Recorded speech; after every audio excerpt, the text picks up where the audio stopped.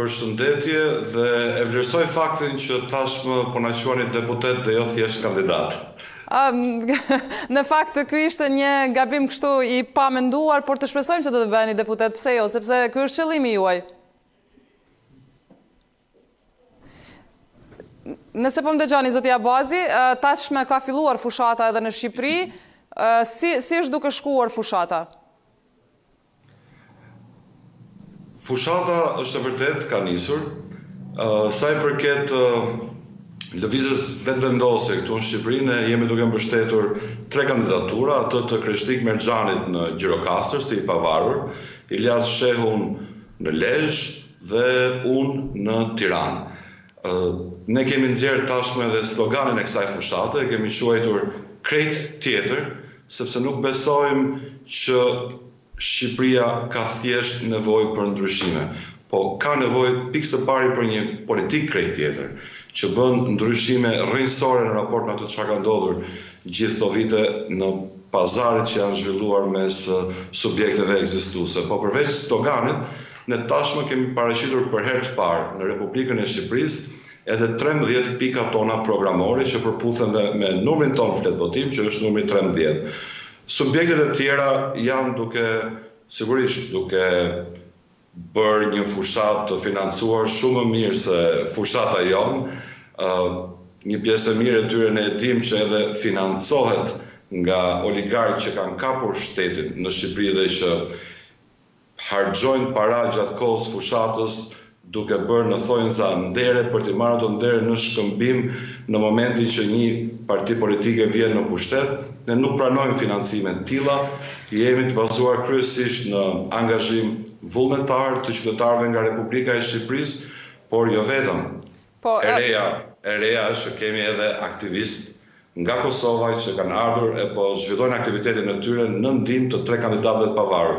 Siç kemi qenë ne në Kosovë, e kemi ndihmuar aty në zgjedhje, në protesta, në tryeza e në të gjitha aktivitetet e lëvizjes, ashtu edhe qytetarë e aktivistë nga Kosova po vijnë, po na ndihmojnë dhe po e zhvillojnë këtë fushatë së bashku. E mendoj kjo është një nga risitë e kësaj fushate jo vetëm për ne si Vetëvendosje, por edhe për qytetarët këtu në Republikën e Shqipërisë. Po, zoti Abazi, nëse flasim për sloganin tuaj, duket që është një slogan gjysëm i Kosovës, pra gjysëm i lëvizjes Vetëvendosje të Kosovës, sepse këtu kishim një slogan krejt dhe drejt, ju e keni krejt tjetër.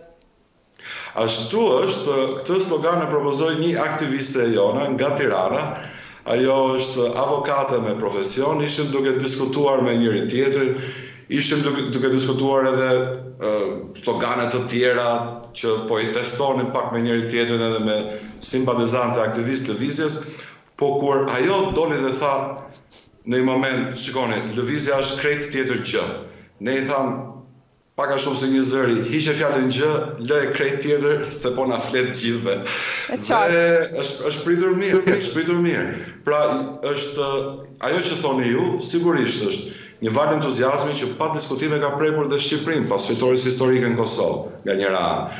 Nga ana tjetër, është me të vërtetë ne besojmë një mënyrë krejt tjetër e të bërit fushatë, me shumë punë vullnetare këtu në Republikë të Shqipërisë, një model ekonomik krejt tjetër që ne propozojmë nga ai që kemi parë në dekadat e fundit në Shqipëri, edhe me kandidatë që ndryshojnë shumë nga kandidatët e partive të tjera, që nuk janë të korruptuar, nuk kanë një njollë të zezë, le të themi, në në të kaluarën e tyre, po janë të rinj, profesionistë, që mendojnë që ka ardhur një moment për ndryshime rrënjësore dhe e kanë çuar para për shembull qoftë Kreshnik Merxhani në Gjirokastër, qoftë Iljazi me shumë idealizëm dhe me shumë ndihmë nga qytetarët e vullnetarë e aktivistë që janë bashkuar fushatës, Po e çojnë përpara projektin e lëvizjes edhe në Shqipëri. Zoti Abazi, ju po shkoni në këto zgjedhje vetëm me tre kandidatë, pra të cilët vijnë nga radhët e Lëvizjes Vetëvendosje. Nëse kthehemi vite pas, kemi një situatë ndoshta pak a shumë të ngjashme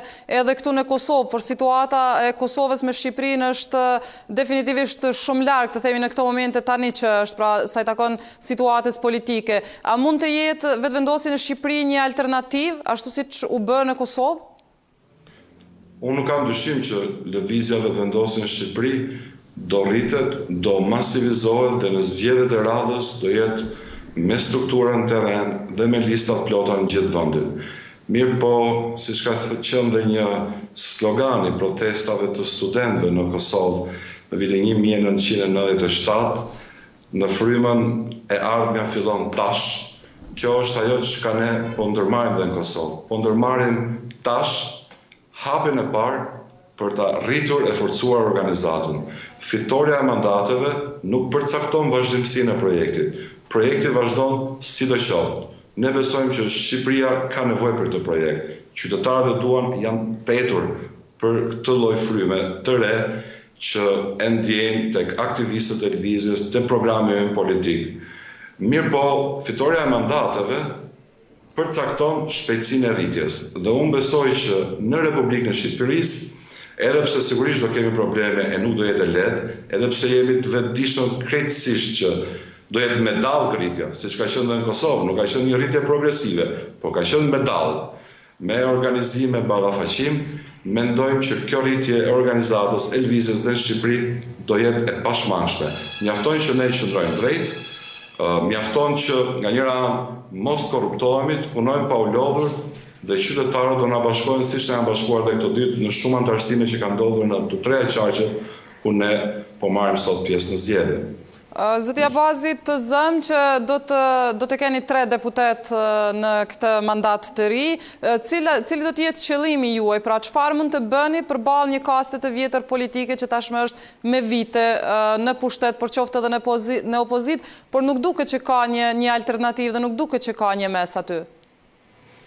Po, së pari ne kemi paraqitur këto 13 pika programore që janë nisin me situatën e shëndetësisë, pandeminë, modelin ekonomik, po flasin dhe për arsimin e lartë, flasin për mjedisin që është kthyer në një katastrofë në Shqipëri e për të drejtat e grave dhe plot tema të tjera të rëndësishme jetike për Republikën e Shqipërisë. Këto temat, programin tonë, Kush ka dëshirë që të ketë ndonjë lloj bashkëpunimi me ne në Kuvend, ne do i kërkojmë menjëherë që t'i përfshijë në programin qeverisës, në platformën qeverisëse. Dhe do flasim me cilëndo palë që ka dëshirë të qeverisë vendin, duke i kërkuar me ngulm, përfshirjen e këtyre pikave programore.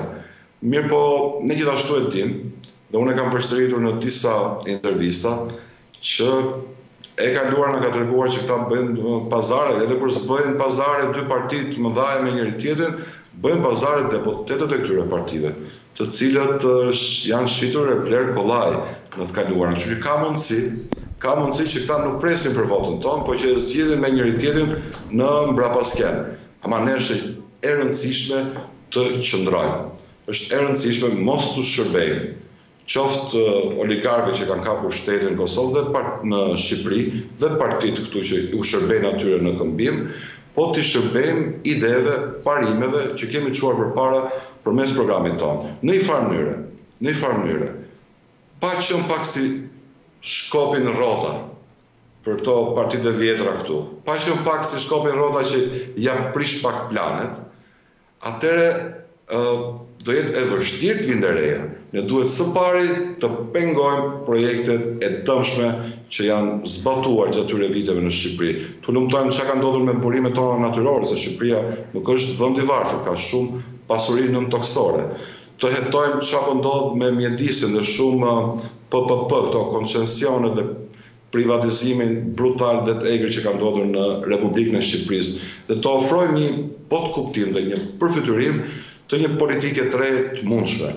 Ne besojmë që qytetarët e kuptojnë këtë, e ndjejnë dallimin, e bëjnë kontrastin dhe janë duke hedhur sytë gjithmonë më shumë nga Lëvizja Vetëvendosje sepse e dinë që nuk është puna që janë thjesht tre kandidatë, nuk është puna tek ne si individë, po është një lëvizje e tërë nga mbrapa që do.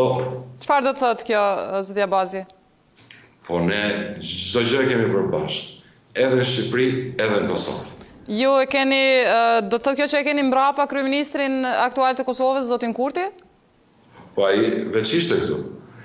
Mori pjesë në aktivitete publike në dy mars në Lezhë, në tre mars në Tiranë, në katër mars në Gjirokastër, e unë besoj do vijë sërish para datës 25 prill. Po nuk është vetëm kryeministri Kurti.